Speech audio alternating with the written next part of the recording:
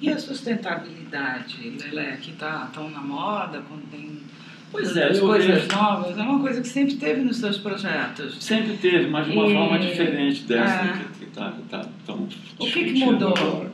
Não, eu acho agora que o sujeito acha que, que fazendo um, uma, um- uma coisa de captação de Coletor de calor solar. lá, um coletor Uhum. solar, que ele resolveu o problema É. da, da, da sustentabilidade. Quando, na Não, a verdade, sustentabilidade isso- é uma coisa completamente diferente. Até a forma de construir, ela está ligada à sustentabilidade. Né? De você não fazer um prédio que gaste mais energia, Energia, ou, ou é. que gaste mais matéria-prima. Né?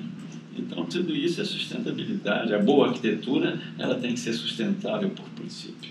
Uhum. É uma, eu acho que é um dever do Tem que estar no arquiteto. projeto. Tem que estar no projeto. Acho que é, que é. E aí as condições podem variar de lugar para lugar. Né? Agora, essa coisa de de repente você achar que põe um, um catavento no- na sua casa e que resolve o problema de energia, essas iniciativas têm que ser iniciativas coletivas, elas não podem ser individuais. São muito caros para ser individuais. E o resultado é sempre de desperdício. É desperdício, porque ninguém. Quer dizer, quando você trata uma ação coletiva integrada, como tem que ser no caso de, de a captação de energia, né, você distribui essa energia da forma correta. Quando você faz isso individualmente, né, você só está distribuindo para si. Então vai haver períodos em que você vai desperdiçar e outros que você vai Uhum. consumir a mais. Porque Uma pessoa só não tem essa. Então sempre ocorre isso, o investimento ser maior. né? Então esse tipo de, de esse tipo de, para mim essa essa coisa de sustentabilidade, quando se trata desse da, na- da forma de captar energia, eu acho que tem que ser coletivo, não pode ser individualizado num projeto, numa casa. Às vezes sim, mas não é que isso vai resolver o problema, sabe? Isso não resolve o problema, o problema é outro. É outro. A sustenta, para mim, sustentabilidade em arquitetura é um bom projeto. É um projeto feito evitando sol nas fachadas envidraçadas, porque elas acabam armazenando calor. né? Depois tem que botar o ar-condicionado, que gasta muito mais energia para tornar aquele ambiente confortável. Né? Então, o que, que é isso? Isso aí é projeto. Uhum. Acho que é- quando a gente vê esses projetos todos envidraçados por aí, que agora é moda fazer essa coisa de vidro, né? a gente fica, como é que está o discurso da sustentabilidade aí? Né? Uhum. Esses vidros, por melhor que sejam, eles, eles, eles absorvem energia. Uhum. Até, até você acabar fazendo um vidro opaco espelhado completamente, que não serve a nada. Aí Aí você- reflete o calor. Aí reflete o calor pro pro outro, vizinho. né? Então, é um beco sem saída, né? E tanta discussão né, em torno da sustentabilidade, É. tanto ao E, e não se trouxe nada de, de novo, né? Porque o Nada. cerne da questão, na verdade, não é novo. Ele Não já é novo, sempre antiga, existiu o né? O Le Corbusier inventou os Bristolés, pô, divulgou os Bristolés, quanta gente fez o Bristolé. Esse prédio, por exemplo, que, do, do tribunal, tem, não tem nada de vidro espelhado, nada disso, ele tem Bristolé, que eu acho que ainda é um- uma coisa que funciona, que evita que o sol bata na janela Uhum. e você possa conviver com aquele calor do Salvador, né? Agora, os prédios lá estão todos envidraçados. Agora se fez um shopping lá, que era todo de pastilha, e eles envidraçaram todo por fora. Shopping, shopping bar, é, organizado. Então, mudaram a cara, enveloparam o prédio de vidro. Agora o prédio é de vidro. E por trás é todo de pastilha. Hum. Tudo alvenaria, não, tem, não, é, não, não são janelas. Não, não, é tudo. Não, eles envidraçaram por cima do prédio acabado agora. Não tem janela, não. É apenas para dizer que, que é vidro. Modernizaram. É. entre aspas. E as discussões não param de acontecer sobre sustentabilidade. Só se fala nisso, né? É, eu acho que é um discurso assim muito complicado da gente lidar com ele, né? Porque existem outras pessoas, por exemplo, que defendem de repente uma construção mais rudimentar, né? feita com, com materiais mais primitivos. Isso também é uma coisa que a gente não, nós estamos num mundo que tem que ser industrializado. Isso aí não tem saída, né? Então é preciso escolher processos de industrialização também, né? que permitam você resolver tecnicamente os prédios corretamente. Né? Agora, querer retornar, fazer construção de bambu, essas coisas. Eu Também que- não é ação. Eu acho que também não, não é, porque não adianta você pôr, o, por mais resistência que tem o bambu, ele tem resistência à tração, tudo bem. Os japoneses fazem até construção, o, o bambu trabalhando a tração como se fosse ferro. né? Então eu acho que, que, que isso tudo é possível fazer, mas não é uma, uma, uma Solução. E a sustentabilidade também precisa ser, acho que você colocou bem, Rodrigo, tem que ser vista a nível de um conjunto de coisas. Claro. Acho que no, mundo de hoje a gente não pode pensar mais nada fragmentado. Em medicina, medicina é um terror. Né? Eu convivo com medicina, tive que aprender muitas coisas de medicina. Haroldo também.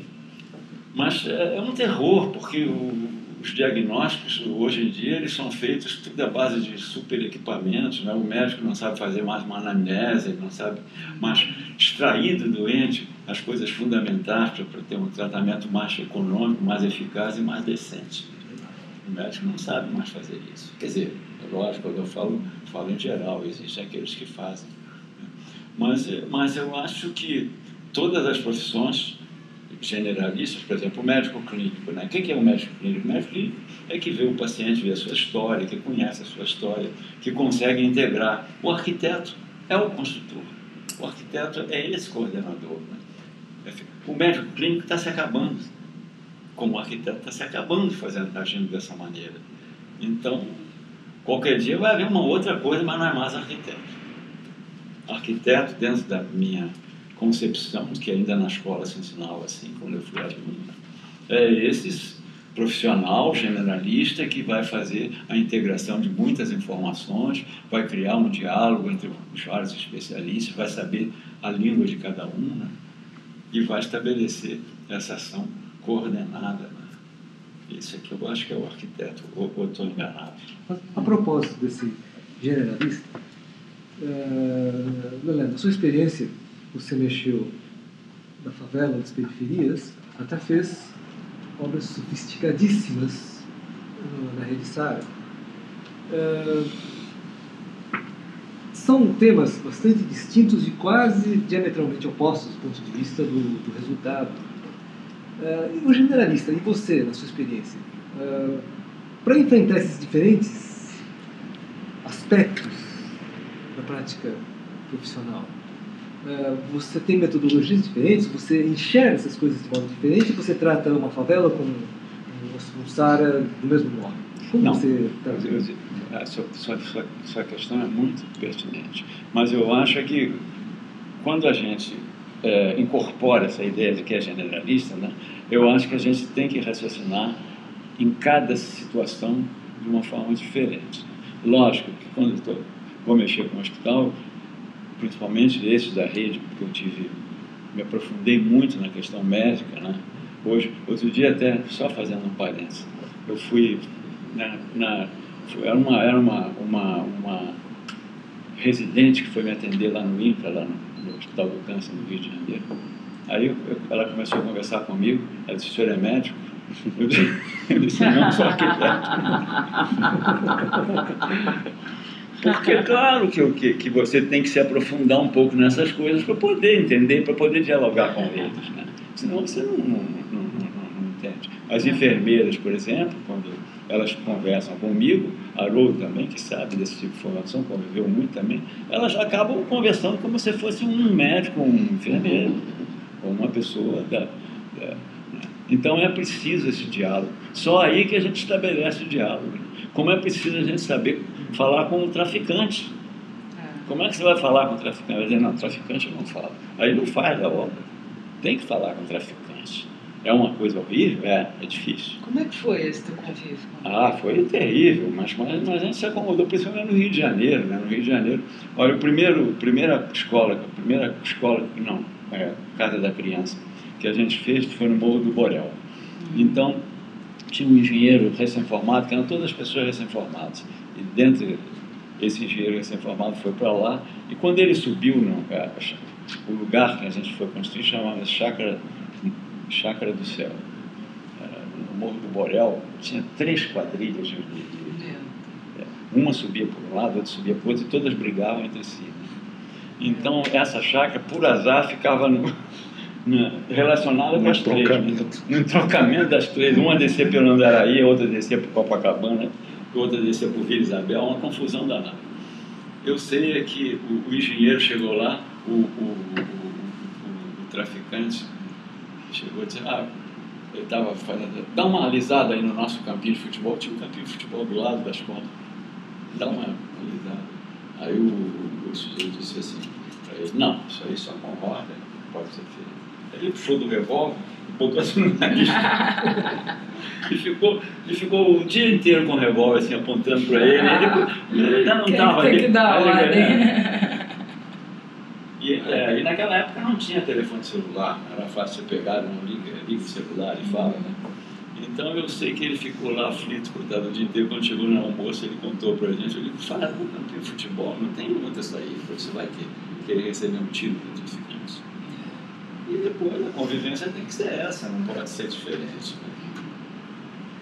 Então é complicado. Olha, na- na- nas construções das favelas do Rio de Janeiro, nós chegamos a cúmulo de, de depois, nas creches, o programa do Daci, que era é, Casa da Criança, nas creches, nós tivemos que, que- que montar lá um- um- uma escola de, de crecheiras dentro da fábrica, usando as pessoas da comunidade, porque ninguém queria ir para os morros.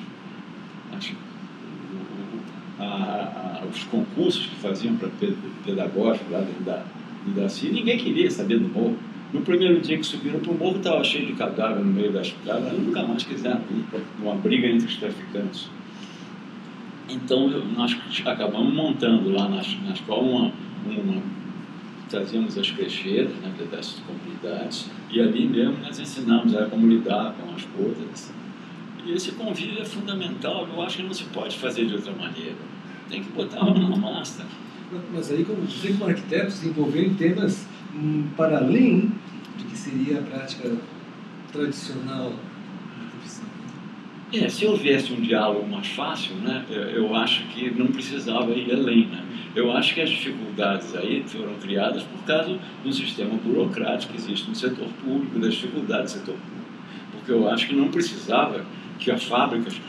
Nós chegamos a esse ponto porque o setor público fazia concursos indiscriminadamente. Né? E as crecheiras eram pessoas que eram arrebanhadas, vamos dizer, de outras comunidades, não tinha uma ligação maior com aquela comunidade. né?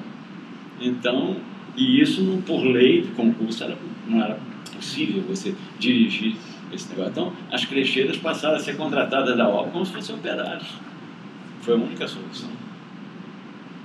E você acha que os arquitetos devem ultrapassar essa. Você está na pergunte. Não, é pela sua experiência. Eu assim. tive, eu tô, eu tô, eu fiz quimioterapia. Não, mas até, até transportando. Aí é uma porque o- chantagem. Até transportando para o que o Hugo eh, perguntou antes, né, quer dizer, fazendo um paralelo assim com, com uma construção já de alta tecnologia, de programa complexo tudo, que é o hospital, né? Quer dizer, que é um outro, eh, vamos dizer, você fez um paralelo, mas é um outro tipo de aprofundamento. A né? outro, outro tipo. Mas eu acho que a postura do arquiteto é a mesma. Eu acho que não muda. A postura é a mesma. A postura, eu vou ter que me, vou ter que tirar, extrair as informações dessas pessoas. Vamos desenhar uma cama-maca. Essa última que eu fiz lá, né? Essa cama-maca foi seis meses pegando enfermagem e pegava o cara, sobe a cama-maca, volta para cá, que, que, qual é o defeito, Saber como é que é. necessidades, É, né? Foi feito assim, poxa. Que tecnicamente, né, é, é, você tem hoje maneira de É. botar motor, isso aí, isso aí é bobagem. Né? Essa parte tecnológica é bobagem. Agora, que aquele objeto seja um equipamento eficiente, isso é difícil, não é fácil. Não. Tem que, você tem que integrar uma série de informações do usuário, como é que é. Tem sempre uma forma mais tranquila, mais equilibrada de você chegar ao fim. Né? Isso aí é inexorável. Então, se não houver isso, não, não- é impossível você chegar a um bom termo. Hoje, eu fico, o que eu fico feliz, às vezes, em alguns projetos, os projetos que me deixam mais felizes, por exemplo, é da Passarela de Salvador, né? que, que ela continua sendo feita, não é mais por mim, ela, mas a linguagem da Passarela de Salvador foi absorvida pela população e ninguém admite mais que a passarela seja diferente daquilo. Eu não faço mais projeto, não preciso. Eles fazem lá, mas, quer dizer, deturpando alguma coisa, mas o objeto continua com aquele tipo de, de proposta. Hoje eles continuam fazendo passarela de Salvador. A mesma passarela, né? Quer dizer, a mesma passarela, a mesma concepção de passarela, ligando ela ao ponto de ônibus, interligando as cunhadas, são coisas que são importantes para a cidade de Salvador, que foram incorporadas gradualmente. Então eu acho que isso, isso aí é, um, é, um, é, só pode ser resultado de um convívio grande com o problema. Né? Você não pode chegar a um ponto desse se não conviver muito com o problema. Né? A tendência não é você, ah, a passarela é aquilo, liga duas coisas, né? Mas você se esquece né, que Salvador tem uma topografia muito diferente, né? uma situação topográfica completamente diferente a passarela tem outras funções. Não é você simplesmente passar por cima da via. E isso é fundamental. As passarelas, as experiências todas, tem, eu acho que trazem algumas, algumas coisas para pensar. Você foi um dos pioneiros na industrialização da construção, várias etapas, né? em vários momentos, com diferentes sofisticações, vamos dizer. Eh, você como você vê hoje a industrialização da construção no Brasil? É uma saída? É um problema? Como você vê a industrialização? Não, eu, eu acho que, infelizmente, né, o Brasil, o Brasil que teria, vamos dizer, pela demanda, obrigação de desenvolver a industrialização da construção, né, infelizmente ele tem um problema sério, é a absorção de uma mão de obra desqualificada. Então todos entendem que a construção civil ela tem que absorver, tem que dar emprego. Isso é uma primeira condição que se estabelece. A, a construção civil, construção civil emprega. Mas não qualifica ninguém. Ela emprega burros de carga que vão transportar aquelas coisas que nem sabem o que é está acontecendo muitas vezes na construção.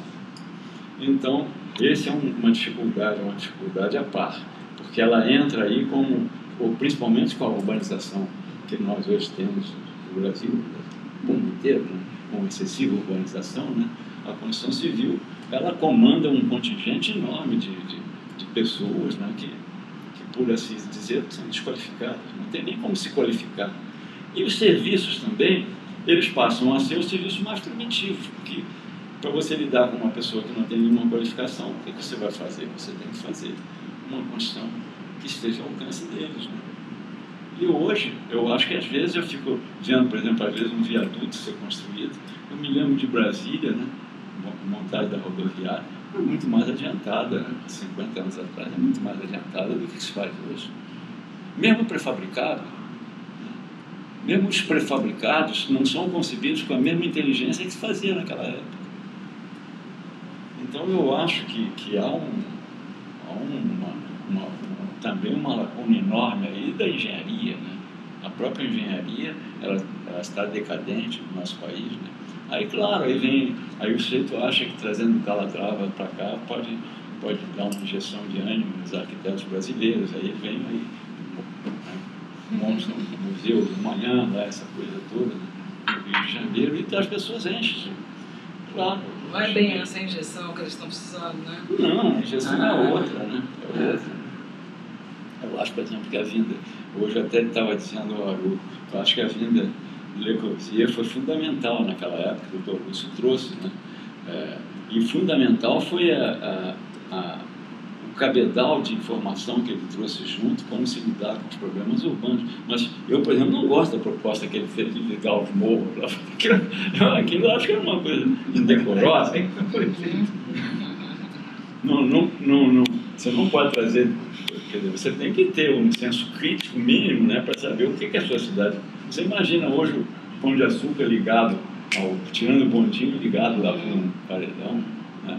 Era uma proposta que não, não, não cabia, né? que ele fez. Né? Que ele fez. Belé, falar em ponte, o que, que você acha das pontes estaiadas que estão pipocando por aí? Só se é faz ponte estaiada. Mas é moda, é moda. Eu também estou fazendo uma ponte não estaiada. estaiada também? Uma ponte, não, é uma ponte. Mas eu acho Porque que. Porque só tem você... ponte estaiada agora. Pois é, mas é, essa ponte que eu não estou fazendo é estaiada.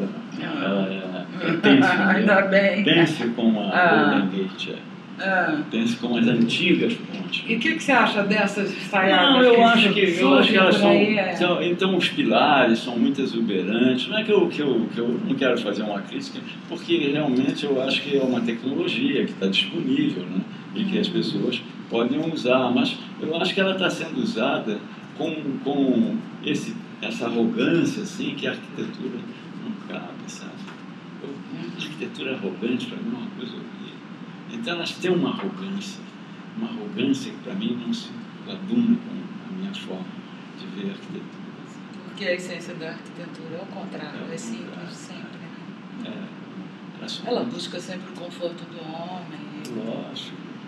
Mas essas pontes são muito arrogantes. É. É impressionante que só se faz estaiada, né? É. Onde você passa, você fala, meu Deus, mais um. É uma tecnologia disponível que você usa é. quando for apropriado. Claro. É, década, no início dos 80, você lembra aquela passarela de São Joaquim, que você é. chegou que não foi é. construída, que tinha um problema de para vencer o vão, e tudo que você propôs todo o sistema para não ter que ter escoramento nenhum e tudo, está utilizando a técnica. Né? Dizer, são, são técnicas que estão disponíveis né, que devem ser utilizadas adequadamente. Né? É. Ainda mais quando é, quando é ponte, passarela, que é obra de arte, é só estrutura, estrutura é. pura. Né? É. Então, quando entra dessa maneira, assim, para se tornar apenas um exercício de músculos, assim, mostrar é. aí se torna, como você bem definiu, é. né, uma, uma, uma, coisa arrogante, né, que, é. que, que, é, parece que é o sujeito fazendo exercícios assim na sua frente, está mostrando é, como. Mostrando, com os braços todos deformados. Bombado, assim, né? Fisicultura. é, fisicultura. Lelé, pelo andar da carruagem, como é que você vê a arquitetura daqui a um tempo? A arquitetura do futuro? Não, é, é isso que eu estava fazendo, essa crítica. Eu acho que estava na, na hora. Por isso que eu, eu fico muito feliz de ter o Haroldo aí como presidente do CAL. Acho que uma das das missões mais importantes que ele tem né, é, é essa, de, de, ver se põe nossa arquitetura nos trilhos. Né? Não é que a gente não aceite coisas que são feitas, existem muitos arquitetos excelentes aí fazendo a melhor arquitetura possível, mas eu acho é que o, o geral está com uma qualidade muito ruim, sabe? E isso se deve um pouco às escolas, né? que não tem, não, tem nível, né?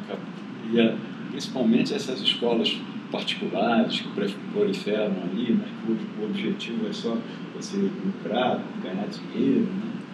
Então eu acho que aqui no, em São Paulo, por exemplo, você tem a FAO que continua sendo esteio para o ensino de arquitetura e a escola da cidade, que é uma escola menor lá, mas que também tem feito um bom trabalho. São as que eu conheço, assim, que fazem, a Mackenzie também, né?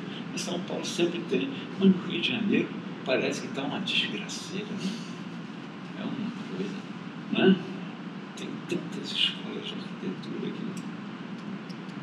E a própria, só, só, só, só, só a FAO a, a, que, que, resiste um pouquinho, mas mesmo assim não tem a mesma postura que tem a FAO, que é a Faculdade de Arquitetura aqui, né? Que é um baluarte, né? Então eu não sei, eu acho que eu acho que nós tivemos discutindo muito isso, né, Ruth? Mas eu acho que, que, que, é, que, nós tínhamos que rever aí com uma certa urgência o ensino de arquitetura. Tínhamos que rever como, como, como capacitar o estudante né, de ser útil nas obras. Né? Sua visão não é otimista do futuro? Não, atualmente não é, não, da, da forma, porque eu não vejo nada melhorar, não é que eu seja pessimista. Mas eu acho que tem que ter algum sinal de melhora. Né? Não, é, esses, aqui, por exemplo, em São Paulo, se eu vou na FAO e falo sobre essas coisas de construção, as pessoas se interessam muito. Né? Mas em outros lugares que eu vou, ninguém se interessa. O distanciamento da obra. Acha que esse local nessa questão do exercício profissional, qual poderia, qual o papel que você acha que o CAL pode exercer? Não, eu acho que uma das coisas é o seguinte, primeiro, tentar é, é, valorizar, quer dizer, não, não proteger no sentido protecionista, que é uma palavra que agora é, você fala em protecionismo, de uma encrenca danada né? dos problemas econômicos. Mas, o, o, o, mas eu acho que o, o bom profissional tinha que ter uma forma de proteção. O bom profissional está muito desprotegido. Então, isso era a primeira forma de proteger o, e, e, e, e não proteger o mal profissional. Não criar uma regra né, que seja igual para todos, porque existe uma diferença entre o bom profissional e o mal profissional. Né? É, é, infelizmente, com essas normas que são importadas, são absurdas, muitas delas, né, que estabelecem uma série de regras para você fazer arquitetura, né, é, elas são interpretadas, às vezes, por por profissionais dentro do processo burocrático absolutamente despreparados para fazer aquela interpretação. Né? Então, não, não, os exemplos aí ó, estão cheios dele, né? uma série de exemplos. As dificuldades que, que, que, que, eu, que eu, particularmente, tenho lá em Salvador são enormes né, para você lidar com esse tipo de, de, de, de dificuldade. Então, o CAL ele tinha que entrar para saber até que ponto essas normas que estão se estabelecendo no setor público, né? que, que adquirem forma de lei, porque norma não é lei, norma é uma referência que pode usar ou pode não usar. Eles transformam as normas em leis. Então é um equívoco você transformar uma, uma, uma norma em lei. Né? E uma norma que às vezes é importada de uma forma absolutamente burra. Então eu acho que isso é uma das. É, examinar essa, essa maneira de de se formalizar um projeto de arquitetura. Isso o CAL vai participar, eu tenho certeza que vai, vai participar cada vez mais, né? porque o CREA pouco se interessava, né? pouco se interessava nisso. Então isso é, uma, é o primeiro passo. O segundo passo é acompanhar essas escolas, né? essas escolas despreparadas, não como faz a Ordem dos Advogados, mas pode ser até de uma forma mais amena, mas saber que essas escolas não estão preparando arquitetos como tem que ser, né? E isso tem que, tem que haver algum, algum julgamento sobre isso. Né? Se o sujeito sai despreparado completamente de uma escola de arquitetura, como é que ele pode exercer a profissão? Então, o CAL tinha que encontrar uma forma de atuar sobre isso também. Então, eu acho que, em primeiro lugar, tinha que ser o próprio exercício profissional. O Dr. Lúcio, por exemplo, quando criou as normas lá para Brasília, né? Ele dizia, não, não temos que fazer a coisa mais simples possível, né? E, e, o bom senso é que tem que prevalecer aqui. Se a gente generalizar uma norma, às vezes a gente vai impedir que uma coisa boa seja feita. Essa era a opinião do Dr. Lúcio, que sempre foi um sábio. Mas o Dr. Lúcio tem que temos que considerar sempre um sábio, desde, desde que ele foi um renovador do ensino de arquitetura no Rio de Janeiro, né? ele sempre, para mim, foi um sábio. Ele sabia equilibrar essas coisas. Né? Então, um exemplo do que ele propunha, né, eu acho que o CAL podia tentar reexaminar essas questões de aprovação de projetos. Como esses projetos são aprovados. Uma ocasião, você me disse que na Alemanha, né, foi você mesmo que disse, que você te entrega um pacote. Ninguém aprova ou desaprova. Aquele profissional é responsável por isso, não foi isso que você falou. É. Hoje de manhã nós estávamos discutindo isso, inclusive. Então, eu acho que isso é uma renovação fantástica, né? Tá bom, você fez a porcaria, você assuma lá a porcaria, né? você vai ser processado pelo proprietário, sei lá o que for. Mas se você criar uma lei, é você que é responsável, então o setor público é responsável, que não está deixando fazer uma coisa boa. Né? Então, só para ilustrar, agora recentemente eu fiz esse mercado São Miguel, tinha, tem uma circulação principal do mercado, tem duas escadas e a terceira escada, que liga uma parte cultural com o pavimento de baixo com a parte de cima, eu fiz uma escada helicoidal, mas ampla. Tem 4,50 metros de diâmetro, não é uma escadinha caracol, é uma super escada helicoidal, né? que tem um papel importante na composição. Ela nem vai ser tão usada quanto as outras. Né? Você acredita que o projeto foi. Não pode ter escada helicoidal? Hum. É, foi reprovado. Prefeitura? Prefeitura.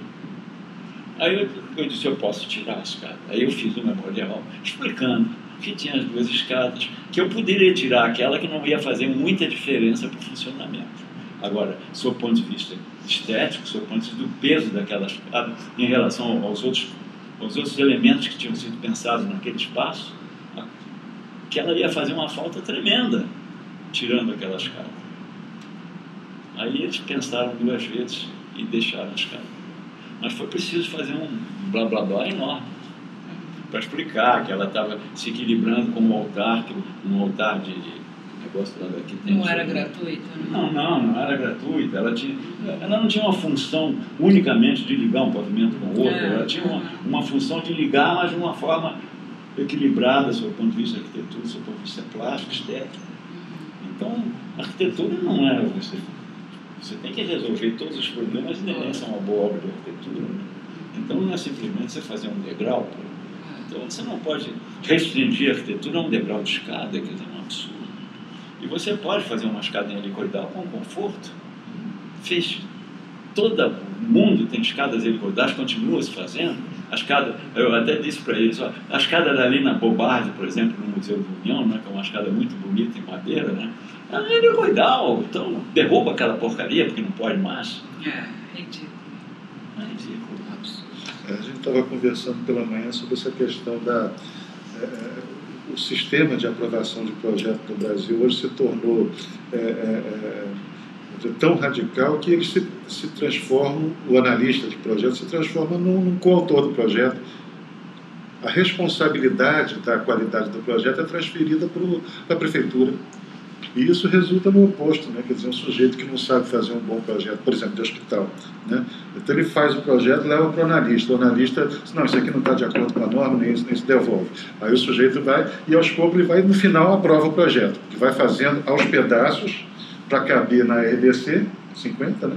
E, e, ao final sai um hospital que não vai funcionar, mas que está aprovado. aprovado. E se ele não funcionar, e o arquiteto for acionado, ele diz, não, mas quem mandou fazer assim foi, a, foi o, o, o, agente de aprovação lá.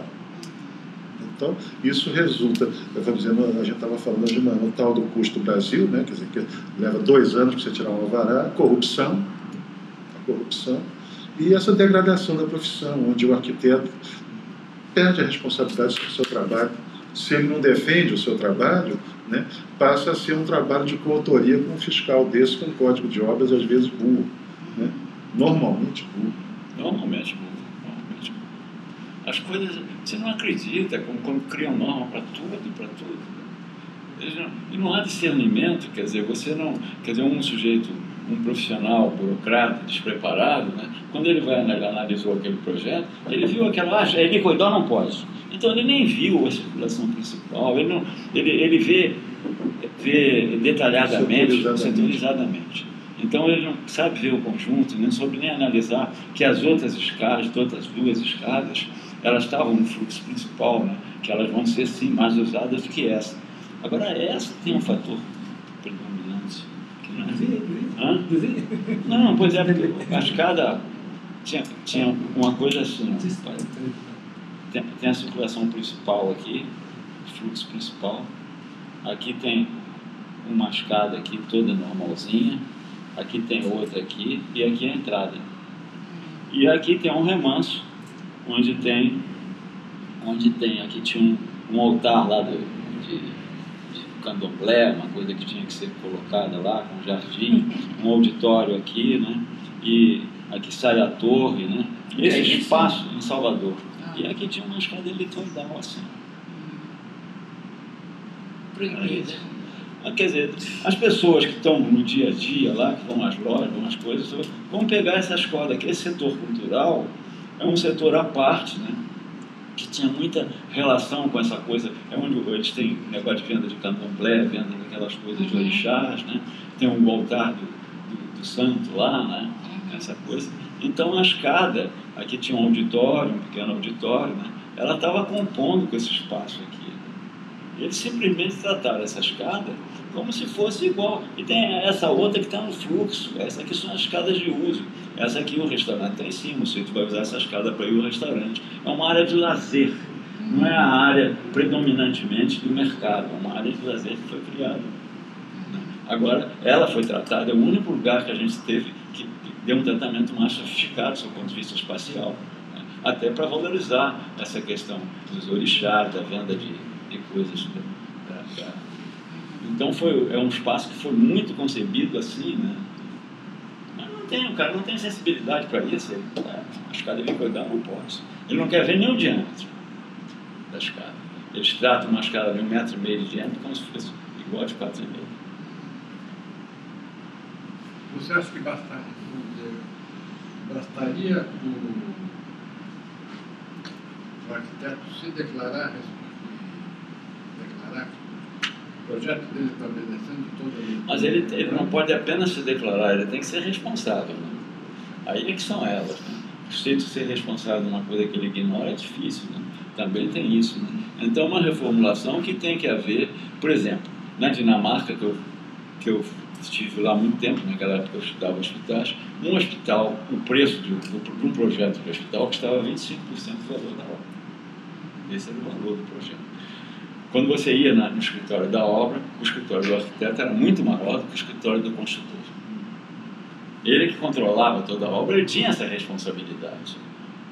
É difícil você entregar um menino que faz envelopamento de prédio aí a responsabilidade do pai.